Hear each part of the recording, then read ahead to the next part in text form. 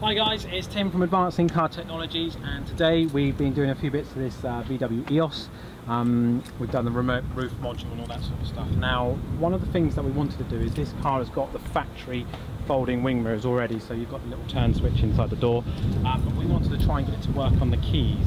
Now, from doing all of our research and all that sort of stuff, uh, this car has got 1K0 uh, modules already installed and so we have sort of applied the logic from the VW Golf 6 so we've used a specialist bit of software called VagCan Pro or VCP as it's otherwise known. And we've gone in and we've updated the EPROMs on the door modules themselves.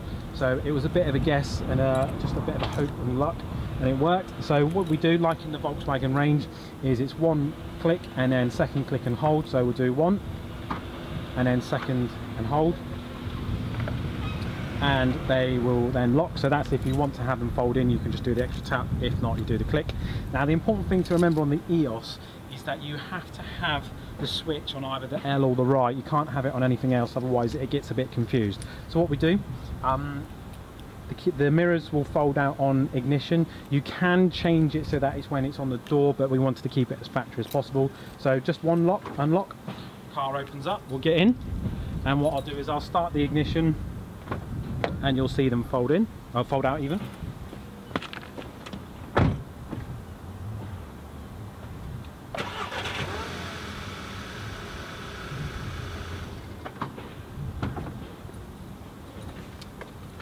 And there you go. Uh, wing mirrors have uh, folded back out again. And if you want to lock them again, one and hold.